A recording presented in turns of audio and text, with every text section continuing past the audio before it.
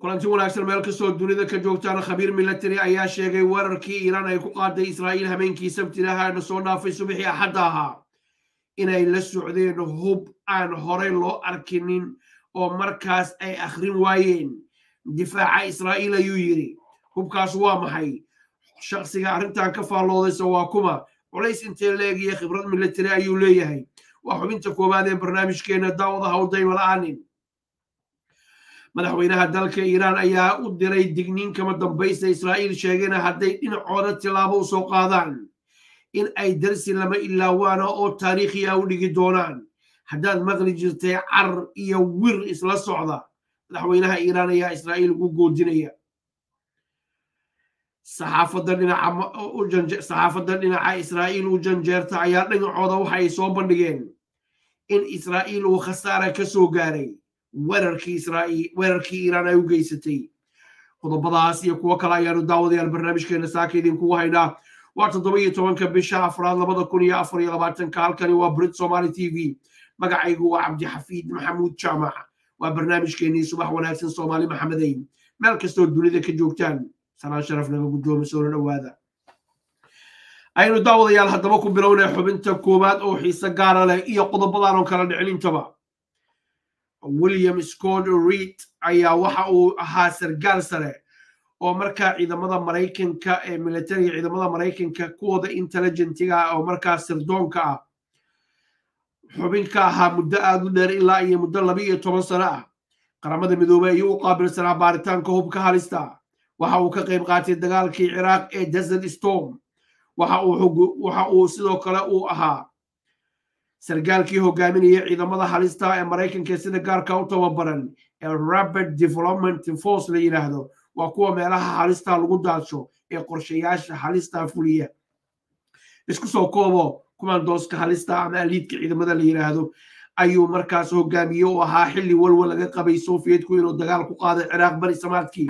Dagaalkii ciraaq inuu ka qayb galay kor baynu ku soo xusnay. Ninkaas ayaa si weyn ugaga faallooday.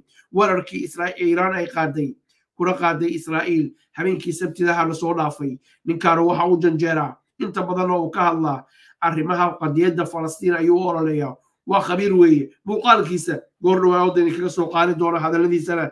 Qaar baan idinka maqashiin balse muxuu yidhi?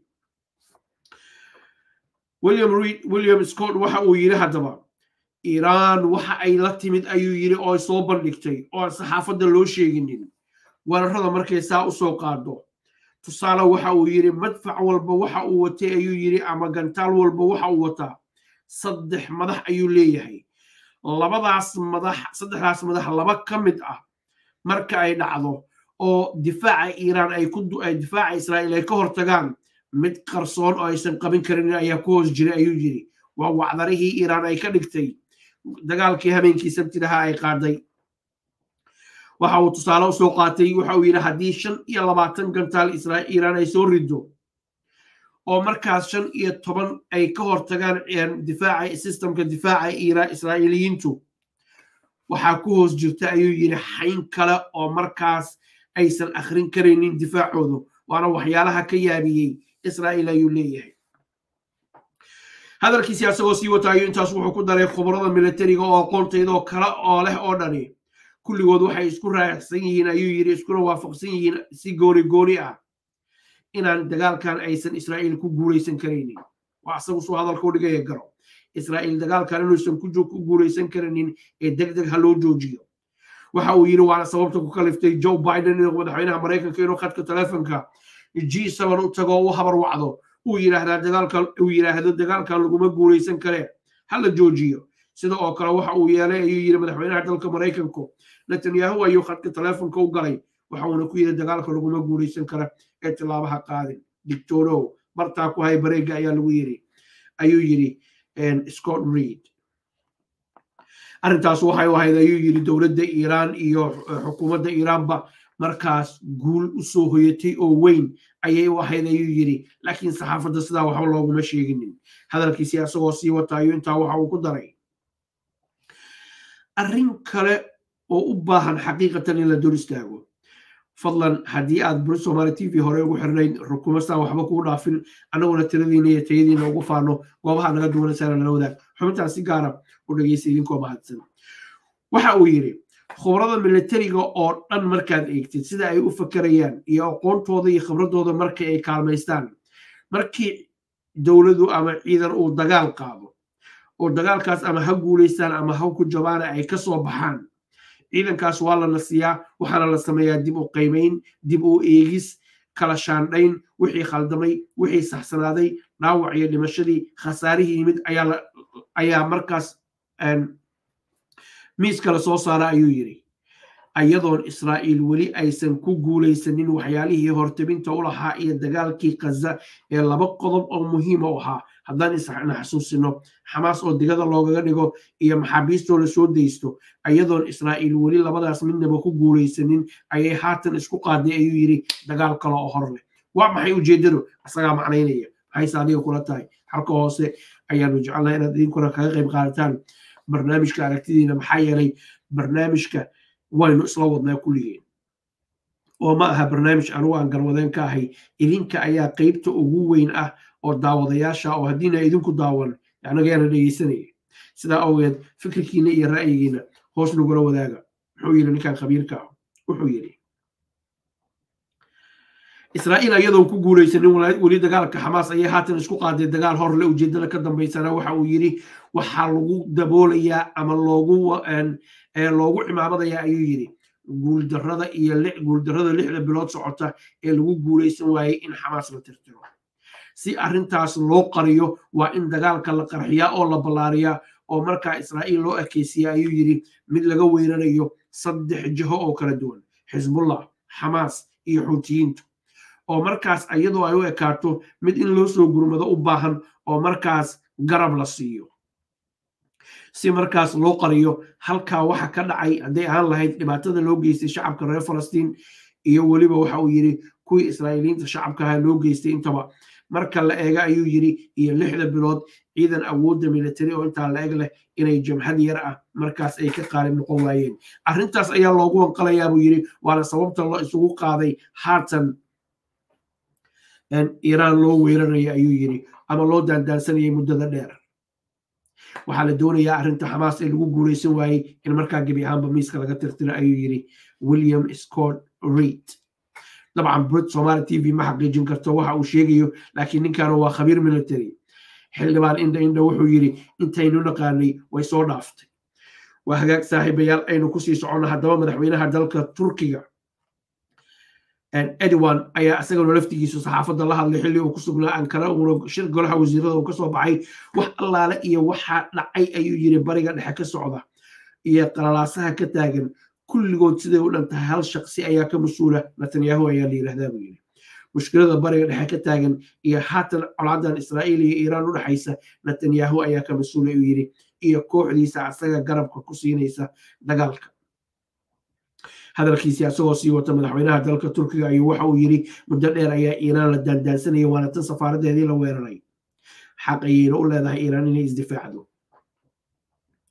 Eedana madax waxa uu ka saaray netanyahu iyo kole gulihiisa wasiirada. Hadalkiisa asagoo sii wata erdogan sidoo kale waxa uu si weyn u cambaareeyey beesha caalamka ama reer galbeedka uu markaas ku tilmaamay. In uu markaas ku eedeeyey uu ku cambaaraya dheeraalahow uu ku cambaareeyey in ay markaas iiraan ay cambaareeyeen. Meeshii ay ahayd buu yidhi in israa'iil la cambaareeyo oo iyadu waddan xor ah safaaradiisii ay weeraro. Safaaradaada haddii la weeraro waxa ay ka dhigan tahay adigoo madaxtooyadaadii la weeraray dalkaaga gudihiisa oo kale. Marka waxa uu yidhi waxay arrintaanu tusaysaa munaafaqad cad. Ciddii eedda in la saara ahayd baa laga weecinaya cid kale ayaa la saaraya ayuu yidhi kaasu wuxuu ahaa madaxweynaha dalka turkiga. Now israa'iil intaan israa'iil u gudbinin ninkan idin tuso haddii in yaroo ka muuqaalkiisa understanding is that Iran used three types of ballistic missiles.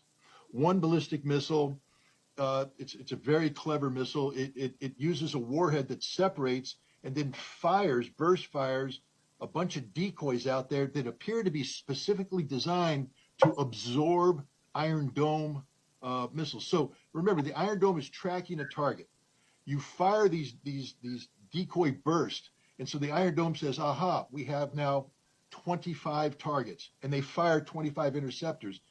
Meanwhile, smaller warheads, maneuverable, burst through those interceptors and go down and hit the Israeli air defense systems. And that appears to be the case. I was looking at some video where you see this taking place, the shotgun effect of these bomblets, uh, the Iron Dome responding, and then coming in and they hit the air defense system. So they're showing the Israelis how we're going to take you out.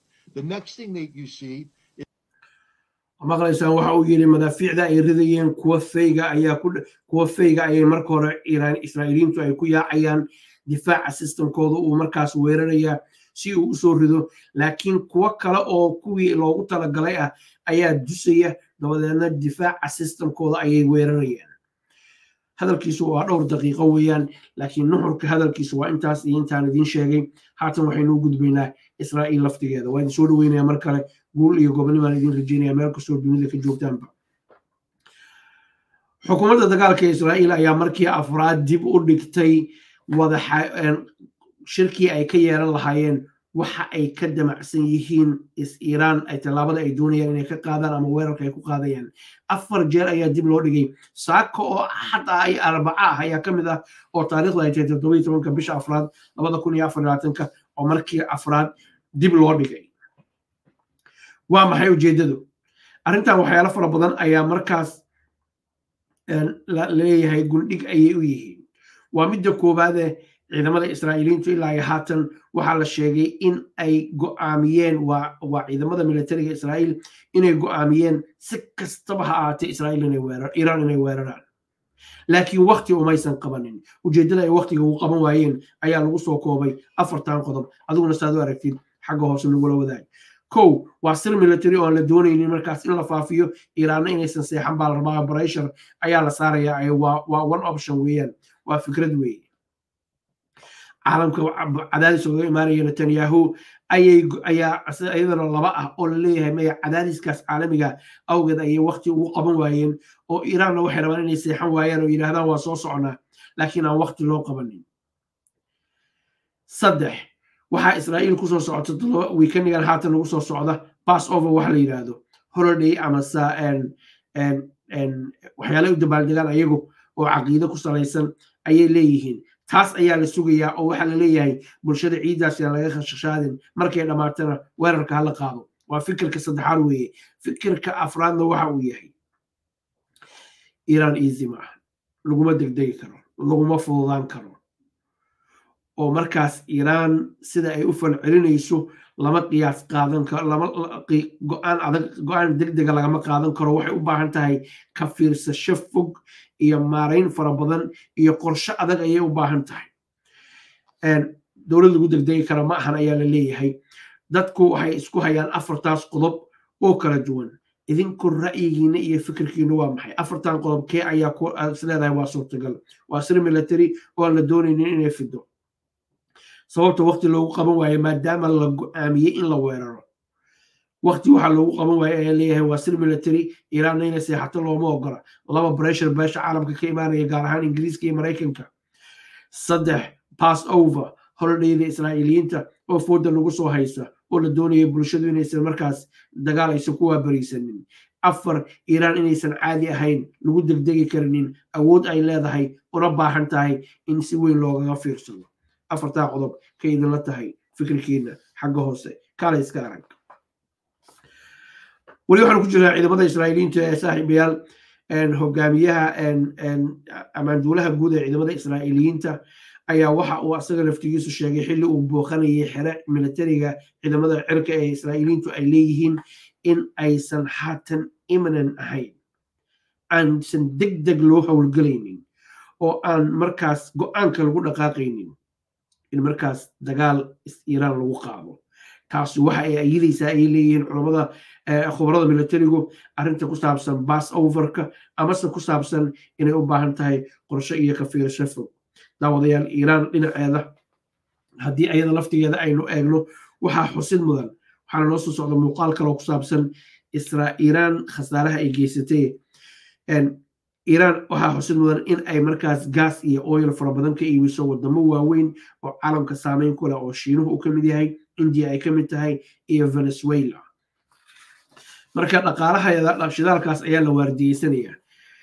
Si kastaba ha ahaatee intaanan u gudbinin hadalka madaxweynaha dalka iiraan oo digniin degdega digniin kama dambaysa u diray. Waa meeshaan idin lahaa car iyo wir bay ka dhigan tahay af soomaaliga. Bal marka hore aan idinla wadaago muuqaal uu baahiyey telefishinka skyga ee boqortooyada ingiriiska laga leeyahay. Hadalka ninkan waxa uu leeyahay bal aynu mar wada dhegaysano oo hagaag from the straight statistics. However, the Iranians did um, achieve success in the Nevatim uh, air base. And the Nevatim air base is in the Negev desert in southern Israel. And Nevatim, although these seven ballistic missiles had got through, they didn't do much damage. It's a very big air base. Airbasekaas ayaa la weeraray ayuu yiri iiraaniyiintuna waxa ay gaareen ayuu yiri guul ayay gaareen. Toddoba misail ayaa u dustay israa'iil.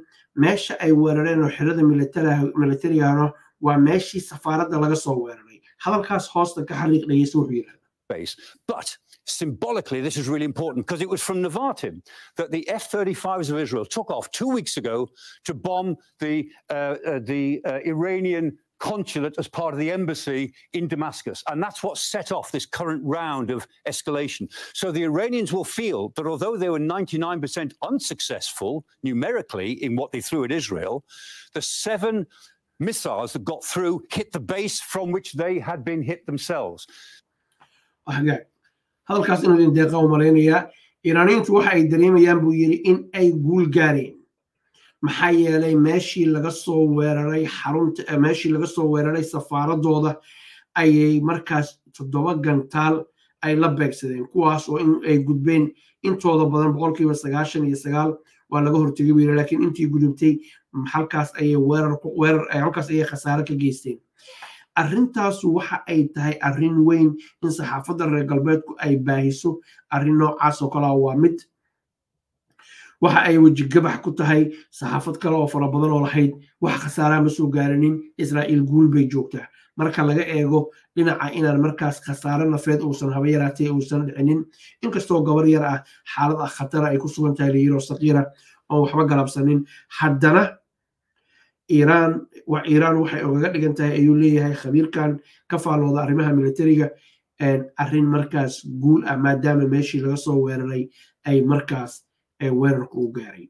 Ay weerar la beegsadeen haddaba saaxiib yaal haatan waxaynu eegaynaa haddii ilaahay yidhaahdo oo muhiimaddeeda iska leh madaxweynaha dalka iiraan ra'iis ibrahim muxuu yidhi? Ra'iis ibrahimi ayaa waraysi siiyey. Ra'iis ibrahimi ayaa waxaa uu ka warramay israa'iil markii wax laga weydiiyey iyo weerarkii ay qaadeen ayuu wuxuu yidhi hadalkan haatan soo socda waxa uu yidhi israa'iil waa u digaynaa haddii ay slide response sameeyaan slide waxa weeye tilaabo yara hadday qaadaan dhinaceenna u soo qaadaan. Hadday dhinaceenna u soo qaadaan. Waxa aynu oga jawaabaynaa ayuu yidhi brutal force awood buuxda oo aan arxan lahayn ayaan oga jawaabaynaa. Oo isdaba joog ah ayaan oga jawaabaynaa ayuu yidhi taas oo israa'iil u dhigi doonta ayuu yidhi cashar aan taariikhda horey loogugu dhiginin. Ha ka fiirsadaan. Yaysan nagu soo degdegin ayuu leeyahay. Daawadayaal waxaad arkaysaan caalamku siduu isku haysto. Waxaa laga yaabaa qaarkiin inay isweydiinayaan waa maxay ujeedada maraykanka iyo ingiriisku ay u garab hor istaageen? Sidaan horey barnaamijyadii kugu soo gudbinaba ingiriiska iyo maraykanka labadaba waxaa ku soo socda. Doorashooyin ayaa haatan ku soo socda and for that reason cido dooni maysa xilli doorasha ay soo socoto in markaas ay galaan malaayiin qarasha iyo dagaal shisheeye oo markaas ka baxsan waddamadan dhinaca kale dadka ka faalooda arrimaha waxay leeyihiin xilkasnimo ayay muujiyeen waa hadalka ayagu dhigeen inay markaa ka hortagaan arrintan laakiin waxaanoo dhan waxaa soo afjari doona ayaa la leeyahay netanyahu hadalkan hoosta ka xariiq. Netanyahu ayaa soo afjari doona ayaa la leeyahay waxa uuna ku khasbanaanayaa netanyahu ama uu doonayaa inuu is-iiraan weeraro taas oo ku khasbaysa maraykanku inuu khasab dagaalka ku soo galo. Netanyahu wakti iyo seetada uu ku seeta dheeraysanayaa wakti ayuu ku iibsanayaa. Iiraan iyo israa'iilna waa isku baaba'ayaan. Maraykanku inuu soo galo wuu ku khasban yahay. Taas oo markaas rajadii biden inuu markaas madaxweyne noqdo gebi ahaanba soo afjaraysa haddii uu diidana way soo afjaraysaa hadduu dagaalka ka qayb qaadana way soo afjaraysaa ayaa la leeyahay ra'yigiina iyo fikirkiinu waa noo muhiim saaxiibayaal ku soo dhowow xarunta caafimaadka ee private walk in clinic oo ah xarun caafimaad oo aad u qalabaysan tayada adeegeeduna uu aad u sarreeyo private walk in clinic waxay caan ku tahay ballanta dhakhtarka oo aad helayso isla maalinta aad qabsatid sidoo kale private walk in clinic waxay bixisaa membershiib sannadla ah oo kuu sahlaya inaad marka aad doonto dhakhtar la kulmi karto. Xarunta caafimaadka ee private walk in clinic waxay macaamiisheeda ugu bishaaraynaysaa in adeegyadii ay horay u bixin jirtay ku soo kordhisay adeegyo cusub. Xarunta adigoo gurigaaga jooga ayay kuu soo diraysaa raajiyaqaan ama dhigiqaade si laguugu shaqeeyo adigoo gurigaaga jooga. Jawaabtana waxaad helaysaa maalin kadib adigoo ku heli kara jawaabta telefoon ama fogaan arag. Sidoo kale maalin kasta oo khamiis ah waxaad xarunta ka heli kartaa dhammaan adeegyada iskaanada sida altrasound xaruntu waxay furan tahay toddobada maalin ee isbuuca. Waxaadna ka heli kartaa dhammaan adeegyada aad ka filan karto xarun g b ama family doctor. Xaruntu waxay ku taallaa galbeedka london xaafadda caanka ah ee shafar buush ama kala xiriir imaylada telefoonnada iyo baraha bulshada. Shaashadda kaaga muuqda